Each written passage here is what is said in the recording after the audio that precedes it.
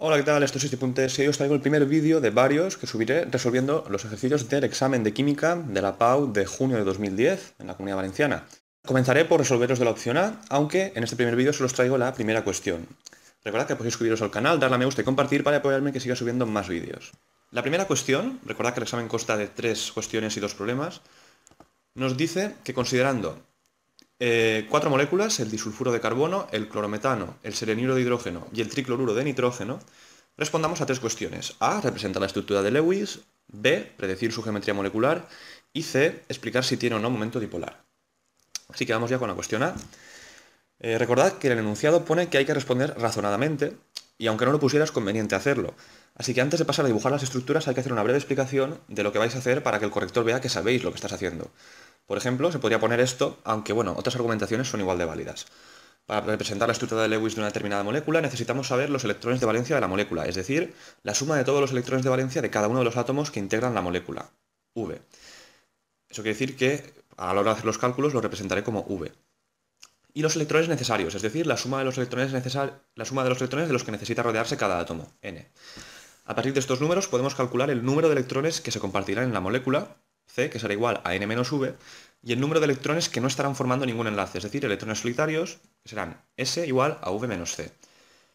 Con el objetivo de comprobar que la estructura de Lewis que hayamos dibujado se corresponde con la realidad, se calcula la carga formal de cada átomo, prescindiendo de calcular varias veces la de los átomos que son, eh, que son exactamente iguales.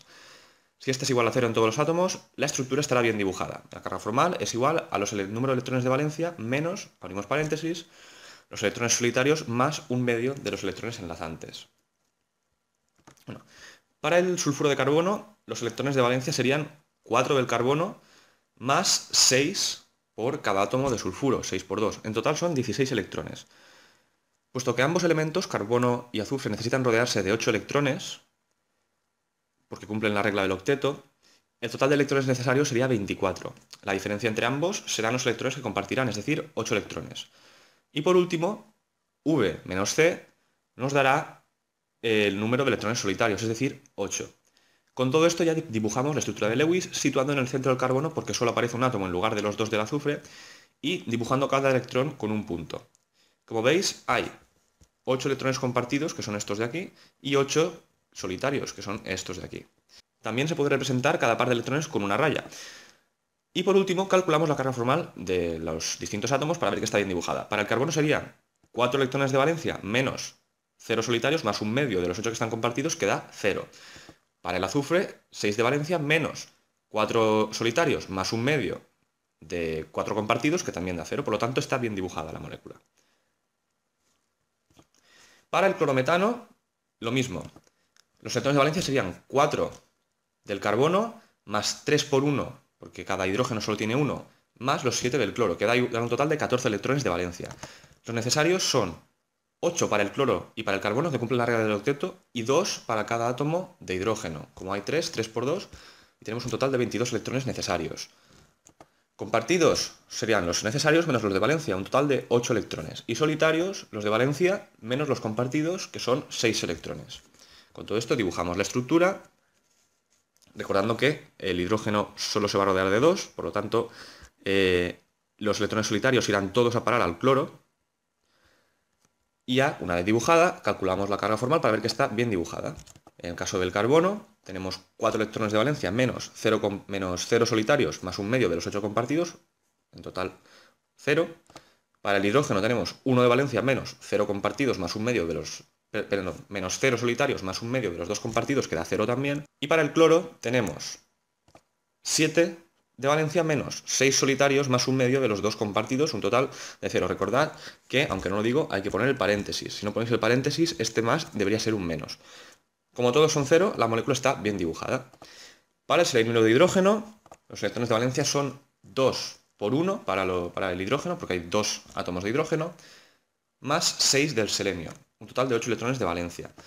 Eh, los necesarios serían 8 para el, para el selenio, que regla del octeto, y 2 para cada eh, átomo de hidrógeno, un total de 12 electrones, de, electrones necesarios. La diferencia entre ambos nos dará los electrones compartidos, que serán 4, y la diferencia entre los de valencia y los compartidos nos dará los electrones solitarios, un total de 4 también. Dibujamos la estructura Recordando que el selenio es el único que cumple la regla, del octeto, por lo que los electrones solitarios no pueden estar en los hidrógenos. Van todos con el selenio. Y calculamos la carga formal. Carga formal del hidrógeno, un electrón de valencia menos cero solitarios más un medio de los dos compartidos, que es igual a cero. Y en la carga formal del selenio tenemos 6 de valencia menos 4 solitarios más un medio de los 4 compartidos, que da también 0, por lo que está bien dibujada. Y por último, para el tricloruro de nitrógeno, los electrones de valencia serían 5 del nitrógeno más 7 por cada átomo de cloro. Eh, un total de 26 electrones. Necesarios, como todos los átomos cumplen la regla, del octeto, serán 4 por 3, total de 32 electrones. Compartidos, la diferencia entre ambos, que dan 6 electrones, y solitarios, la diferencia entre los de valencia y los compartidos, que da 20 electrones. Dibujamos la molécula, vigilando que se cumpla la regla del octeto, efectivamente se cumple, todos los átomos están rodeados de 8 electrones, y para ver que está bien dibujada, calculamos la carga formal, que para el nitrógeno serían los 5 de valencia menos 2 solitarios, que son estos de aquí, más un medio de los 6 compartidos, que da 0, y para el cloro 7 de valencia menos 6 solitarios, más un medio de los dos compartidos, que también da 0, por lo que está bien dibujada. Además, recordad que para saber los electrones de valencia hay que escribir la configuración electrónica de cada, de cada átomo y, y ver cuántos electrones hay en su última capa. la cuestión B nos pide que predigamos la geometría molecular. Como antes, escribimos una breve explicación de lo que vamos a hacer. A partir de la estructura de Lewis podemos predecir la geometría de una molécula utilizando la teoría de repulsión de los pares de electrones de la capa de valencia. La TRPCV afirma que los pares electrónicos se dispondrán de forma que las energías de repulsión entre ellos sean mínimas. Es necesario diferenciar entre la disposición espacial, que se refiere a todos los pares de electrones, y la geometría, que solo se refiere a las posiciones relativas de los átomos. Para determinar ambas mediante la TRPCV es preciso saber cuántos pares enlazantes y cuántos no enlazantes tiene el átomo central, y para la aplicación de esta teoría los enlaces dobles y triples cuentan como un solo par. Y dicho esto, pasamos ya a predecirla. En el sulfuro de carbono, si miramos eh, el átomo central, que es, eh, que es el que hay que mirar, siempre hay que mirar el central, vemos que tiene 1, 2, 3 y 4 pares enlazantes, ¿no? Pues no, tiene dos. Recordad que enlaces dobles y triples cuentan como un solo par. Además, no tiene ningún par enlazante, por lo que eh, si miráis el vídeo en el que explico la teoría de repulsión de los pares de electrones de la capa de valencia, que dejaré en la descripción y podéis ir haciendo clic en las tarjetas arriba a la derecha, eh, si miráis el vídeo, veréis que esta configuración, dos pares enlazantes y cero no enlazantes, se corresponde con una disposición espacial lineal y una geometría también lineal. El átomo central del clorometano tiene cuatro pares enlazantes, como veis, 1, 2, 3 y 4, y cero no enlazantes, por lo que tanto su disposición espacial como su geometría serán tetraédricas. El átomo central del selenio de hidrógeno tiene dos pares enlazantes y dos no enlazantes, por lo que igual que el anterior, su disposición espacial será tetraédrica pero la geometría será angular. Y por último, el átomo central del tricloruro de nitrógeno tiene tres pares enlazantes y uno no enlazante, que es este de aquí. Por lo que, al igual que los dos anteriores, la disposición espacial será tetraédrica, pero la geometría será piramidal trigonal. Y por último, en el apartado C nos pide que determinemos si la molécula tiene momento dipolar o no. Igual que antes escribimos una explicación de lo que vamos a hacer. Cuando se enlazan átomos con distinta electronegatividad, uno de los átomos atrae con más fuerza a los electrones de modo que se forma un enlace polar. Este es un enlace en el que los electrones no están situados de forma simétrica entre los dos átomos. Como consecuencia, aparecen cargas parciales en los átomos. Uno tendrá carga parcial negativa, delta menos, y el otro tendrá carga parcial positiva, delta más.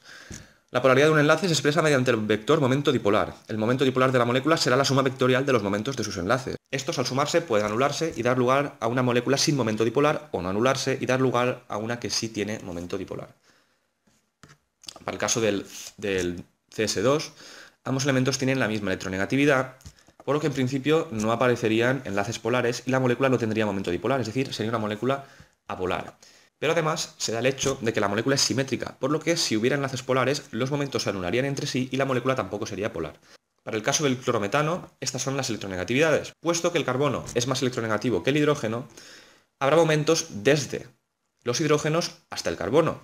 Y como el cloro es más electronegativo que el carbono, habrá también un vector desde el carbono hasta el cloro. Al hacer la suma vectorial de estos momentos, nos da un vector resultante, por lo que la molécula tiene momento dipolar y es una molécula polar. Para el selenio de hidrógeno, el selenio es el más electronegativo, por lo que habrá vectores desde los hidrógenos hasta el selenio.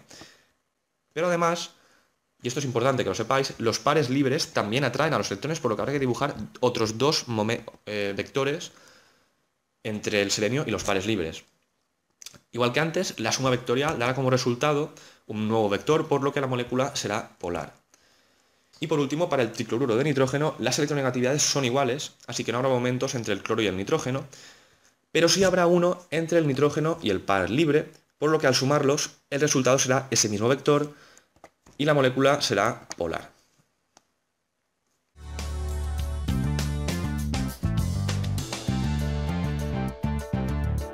Y ya está, eso es todo. Si tenéis cualquier otra sugerencia, podéis contactarme en Twitter, enviar un correo electrónico o dejar un comentario debajo de este vídeo. Y si os ha gustado, simplemente os ha parecido útil, darle a like y suscribiros para recibir actualizaciones sobre nuevos vídeos. Hasta pronto.